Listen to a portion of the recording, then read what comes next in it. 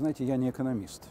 Я не могу сказать, какие рецепты лучше или хуже. Экономисты высочайшего класса спорят друг с другом на эту тему. Я в этом споре по причинам профессионального порядка участвовать не могу.